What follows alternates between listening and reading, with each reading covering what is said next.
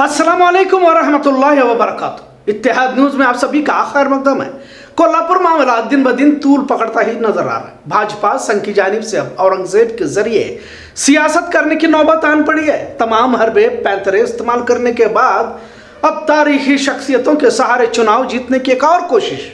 भाजपा को करते हुए देखा जा रहा है। महाराष्ट्र में अब चर्चा औरंगज़ेब की जारी है। क्या वाकई औरंगज़ेब देश विरोधी शख्सियत के तौर पर पेश करना चाहिए या करने की कोशिश जारी है? भाजपा प्रवक्ताओं को मुगलों पर खुलकर हमला करते हुए देखा जा रहा है। अब पुराना हिसाब किताब भी देखा जा रहा है। कौन कौन लोग थे जिन्होंने औरंगज़ेब के कब्र पर गलीफ, यानी फूल मालाएँ चढ़ाई, इसका भी हिसाब किताब किया जा रहा है। कर्नाटक के चुनाव ने बहुत सारे समीकरणों को बदल दिया है। हासिल इत्तला के मुताबिक कर्नाटक में टीपू सुल्तान की यौम पैदाइश मनाई जाएगी, ऐसा कांग्रेस की नई सरकार की जानिब से ऐलान किया गया। वज़ीर अला सिद्धरामैया ने हाल ही में पाँच जून को इसका ऐलान किया। अब इसे आग में घी डालने के बराबर कह सकते हैं, लेकिन भाजपा कर्नाटक में मजबूर है, क्योंकि शेर मैसूर टीपू सुल्तान कर्नाटक की शान है। भले ही भाजपा ने टीपू सुल्तान को कर्नाटक में खलनायक के रूप में पेश करने की कोशिश की मजीद इसे कन्नड़ विरोधी भी साबित करने की कोशिश की। अब इसी तर्ज पर महाराष्ट्र में औरंगज़ेब का सहारा लेने की कोशिश, महाराष्ट्र की भाजपा हुकूमत कर रही है, ऐसा इल्ज़ाम लगाया जा रहा है। भाजपा के लिए अब हिंदुत्व की सोच रखने वाली शिवसेना भी रिकॉर्ड बनी हुई है। भले ही औरंगज़ेब पर शिवसेना और भाजपा का नज़रिया एक जैसा ही हो। आज महाराष्ट्र में एक और सरगर्मी देखने को मिली, जिसमें अब राष्ट्रवादी कांग्रेस भी कूद पड़ी है। औरंगज़ेब का मुआजना एनसीपी के सदर शरद पवार से भाजपा के नीलेश राणे ने किया। और कहा कि शरद पवार इस दौर के औरंगज़ेब लगते हैं, इस बात को लेकर राष्ट्रवादी कांग्रेस के कारकुनान में गुस्सा नज़र आ रहा है और पूरी रियासत में भाजपा के खिलाफ एहतजाज किए जा रहे हैं। राष्ट्रवादी कांग्रेस ने तो जेल भरो आंदोलन का इशारा दिया हुआ है। कुल मिलाकर देखी जाए तो महाराष्ट्र की सियासत औरंगज़ेब के इर्द गिर्द घूमती दिखाई दे रही है। क्या इस तरह तारीखी शख्सियतों के नाम पर सियासत कामयाब हो सकती है? क्योंकि कर्नाटक में टीपू सुल्तान के नाम पर तो भाजपा पूरी तरह से नाकाम हो चुकी है। क्योंकि इस दौर के आवाम को एक वक्त तक ही धर्म जात पात, नफरत, टीपू औरंगज़ेब के नाम पर भड़काया जा सकता है। अगर यही तारीखी लोग इतने खराब थे तो पिछले सत्तर सालों से दिल्ली में औरंगज़ेब रोड था। अगर वाकई औरंगज़ेब देश विरोधी था तो पहले एतराजात क्यों नहीं दर्ज किए गए? मतलब अपने सहूलतों के हिसाब से किसी के नाम का सहारा लेकर तब्दीली करने की कोशिश की जाती है और किसी को देशभक्त और देश विरोधी बनाने की तहरीक भी चलाई जाती है। हाल ही में भाजपा इकतदार के बाद इस तरह का मामला शुरू हुआ है। लिहाजा महाराष्ट्र में तनाव का माहौल है। राष्ट्रवादी कांग्रेस के अमोल मेटकरी ने कहा कि नीलेश राणे एक दल बदलू नेता है, जिसे भाजपा के सहारे की ज़रूरत है। जो भी बयान शरद पवार को लेकर भाजपा के नीलेश राणे ने दिया है, इसकी पुरजोर मजम्मत की गई। कर्नाटक चुनाव के बाद बदलता सियासी समीकरण। भाजपा के लिए फ़िक्र का बास बनता जा रहा है। भाजपा और संघियों की नींदें उड़ चुकी हैं। लिहाजा कर्नाटक में जब से कांग्रेस हुकूमत आई है, इनका सुकून खत्म हो चुका है, ऐसा भी कहा जा रहा है। कांग्रेस ने पाँच गारंटी को जल्द लागू करने का ऐलान बारहा किया, लेकिन इन्हें सब्र नहीं।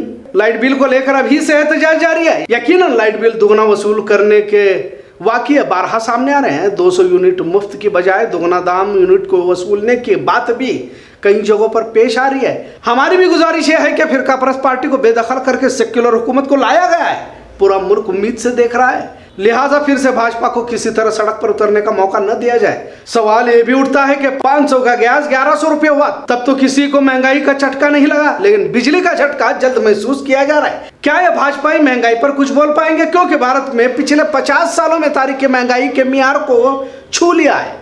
हम किसी पार्टी की हिमायत नहीं करते, लेकिन एक हुकूमत के बाद जब दूसरी हुकूमत आती है तो संभलने के लिए कुछ वक्त ज़रूर लगता है। और आवाम को भी इस हुकूमत को कुछ दिन संभलने के लिए देना होगा। कर्नाटक के चुनाव को मामूली न समझा जाए, क्योंकि मुल्क की असल दिशा को मोड़ने का काम कर्नाटक चुनाव ने किया है। और इसका सहरा इस रियासत की तमाम आवाम को मिलना चाहिए, लेकिन अख्तदार पर किसी भी काम को अंजाम न देते हुए मैं धर्म हलाल, झटका, मंदिर, मस्जिद, हिजाब के आड़ में सियासी ऐशो आराम का मज़ा लूटने वालों के लिए बेचैन होना भी लाजमी है। यहाँ भी टीपू सुल्तान को लेकर माहौल को आलूदा करने की कोशिश की गई। टीपू सुल्तान हिमायतों को देश विरोधी कहा गया, यहाँ तक कहा गया कि इन्हें मारकर यहाँ से भगा देना चाहिए। जैसे आज महाराष्ट्र में औरंगज़ेब का नाम लेने वालों को कहा जा रहा है। और अगर वाकई कोई भी तारीखी शख्स जिसका नाम लेना देश विरोधी है तो सरकार तो भाजपा ही की तो है फिर। तो फिर कोई सर्कुलर क्यों नहीं निकाला जाता? खैर, आज जिस तरह शरद पवार को औरंगज़ेब से जोड़ने की कोशिश की जा रही है, इसी तरह कर्नाटक में भी भाजपा के रियासती सदर नवीन कुमार कटील ने सिद्धरामैया को भी टीपू की तरह मारना होगा का बयान दिया था। जिसका नतीजा सभी ने देखा।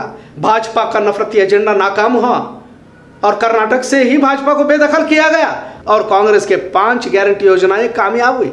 लिहाजा महाराष्ट्र में भी अगर भाजपाइयों को भगाना है और इन्हें हुकूमत से बेदखल करना है तो नफरती एजेंडे को नजरअंदाज कर, महँगाई, बेरोजगारी के सवालों को सामने लाकर गरीबों के हक में बात की जाए। और आवाम भी अब धर्म, नफरत, मंदिर, मस्जिद से उग चुकी है।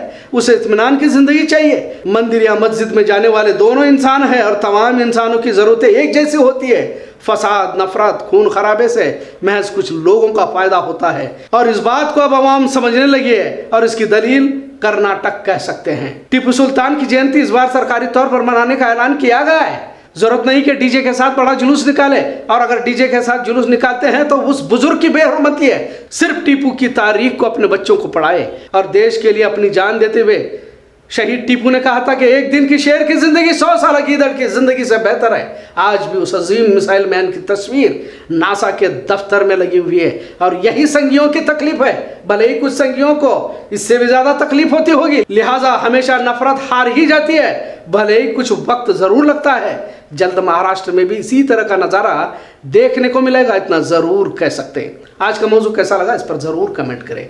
इतिहाद न्यूज़ देखने के लिए शुक्रिया। अल्लाह हाफिज।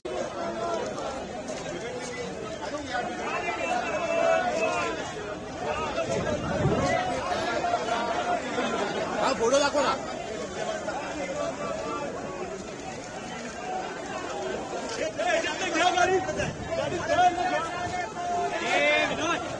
हे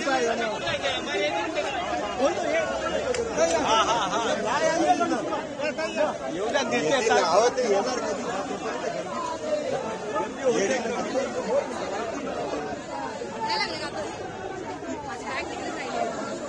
देते लेडीज़ घ्या तुम्ही।